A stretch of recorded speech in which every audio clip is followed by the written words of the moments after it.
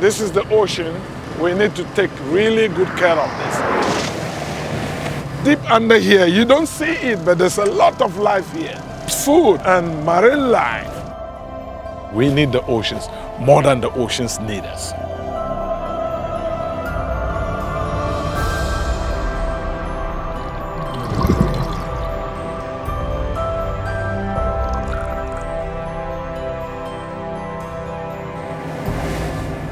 On the Canadian west coast, here in Vancouver, British Columbia, you can look over the Pacific. It stretches more than 7,500 kilometers to Japan. This is the largest body of water on the planet, and it used to be teeming with fish and marine life. Now, that is changing. The world's oceans, covering 70% of the surface of the planet, were once seen as an infinite supply source for humans to use. But the oceans are under strong pressure. Scientific data from Rashid Sumaila and other researchers show that the global fish catch has stalled and is now falling, despite increased efforts from fishing fleets all over the world. There is less and less fish to catch. The research of this year's laureate shows us how imminent and devastating the threats are to fish and marine life. But he also has solutions. If we make the high seas the fish bank of the world, we'll get these benefits ecologically, economically, and also socially. Beautiful idea.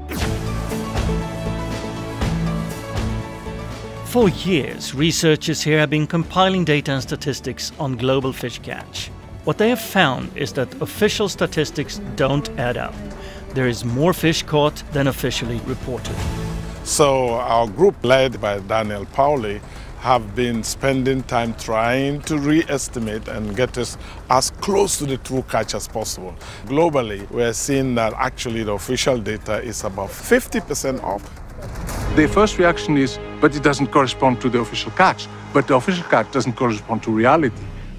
The global fish catch in the world from 1950 to 2010 was 3.6 billion metric tons, reported officially. But when the researchers at the Institute for the Oceans and Fisheries took into account all fishing, recreational, illegal, local non reported fishing, and more, they came up with a much higher figure 5.4 billion metric tons. That is 50% higher than the official figures. Steveston was once a bustling fishing village. Nowadays, the fishing boats spend most time in port, since their fishing quotas are quickly filled. It's very slow here compared to what it used to be historically. Randy Pilford has been a fisherman all his life, but now his fishing vessel Calvada is mostly moored at the quayside. It was a really good lifestyle when I was younger. You think there's still a lot of fish out there? I'm not sure about that anymore. It's got worse every year. What would you say to a young man? Would you say go into the fishing industry? No. No? No. Marine life has taken a devastating hit in the last 40 years. A recent study from the Worldwide Fund for Nature indicates a nearly 50% decline in marine life populations between 1970 and 2012. But overfishing and overexploitation of marine resources aren't the only threats to the oceans. There are several million tons of plastics entering the oceans every year. If we don't do something to stop this, in the next few decades there might be more plastic in the ocean than fish, which is quite scary. I mean, and this plastic, they, they break into little pieces, microplastic. The fish see them and they think it's algae. They eat them, it pollutes them, and also actually can pollute people. Related to pollution is climate change, which is responsible for changing the oceans more rapidly than at any other point in recorded history. We can see that there's a general decline in both of the catch and the revenue in the, along the tropical region. When the temperature is getting warmer, this habitat is not suitable for them anymore. A slight rise in temperature will change ocean currents and also disrupt the ocean's food chain.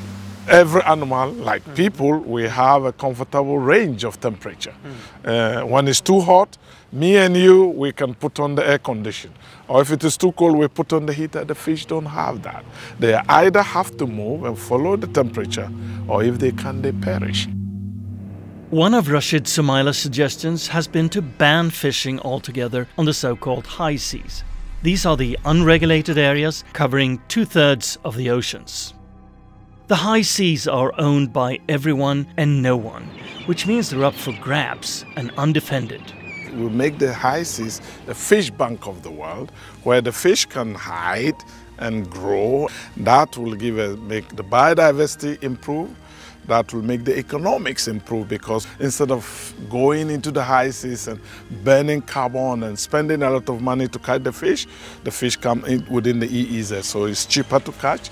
The idea to ban fishing in the high seas was originally seen as totally unrealistic. People thought I was crazy, really. But, but now people are saying, hey, maybe this is a wise thing. For the same reason that you don't open your savings account to all kinds of expenditures. And the more you think about it, the more you like it. There is now a growing support for protection of the high seas, and the first high seas marine protected area, the Ross Sea in Antarctica, has recently come into force. New technology, which makes it possible to track down fish virtually everywhere, can also be a main tool for monitoring and help in creating sustainable fisheries. This is amazing stuff. Every fishing boat that has a tracker in the world. You can actually look for individual vessels here. This is going to be the future of surveillance, at least in the high seas. This exists now. Just a few words, okay? Another of Rashid Sumaila's research areas is subsidies to fishing fleets. Many governments around the world give subsidies to the fisheries sector with good intentions. But a lot of these subsidies actually lead to overfishing. So one of the things you want to do, don't give subsidies that leads to overcapacity and overfishing. In many parts of the world, uh, there's a lot of illegal fishing going on. You need to have a system that changes the economic equation such that it doesn't pay to fish illegal. For more than 20 years now, Rashid Sumaila has worked relentlessly with research on the future of the oceans.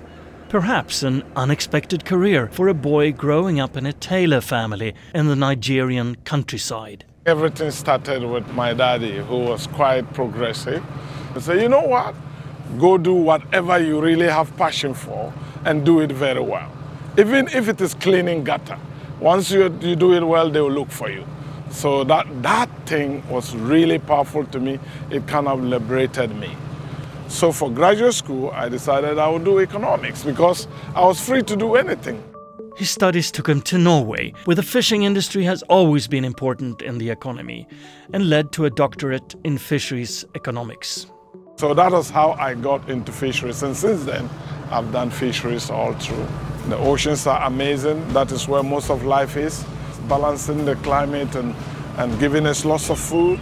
But at the same time, it is facing a lot of threats to something that is so valuable to people, and that is really keeping me busy, keeping me passionate. How can we get solutions to keep this amazing natural system that we have going sustainably, not only for us, but also for future generations? Rashid is one of the stars.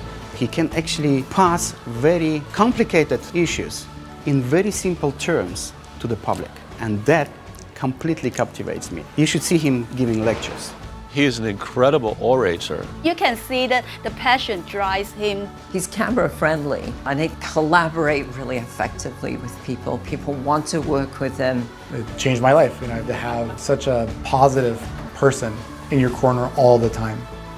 We are incredibly proud of him as one of our most eminent scientists. We can do it. We can sustain the ocean. The threats to the oceans eventually comes down to our relation to them. The oceans are our lives. This is where life on the planet began. Most people love to be close to water and to the oceans. And we now need to understand how intertwined we as humans are to all marine life.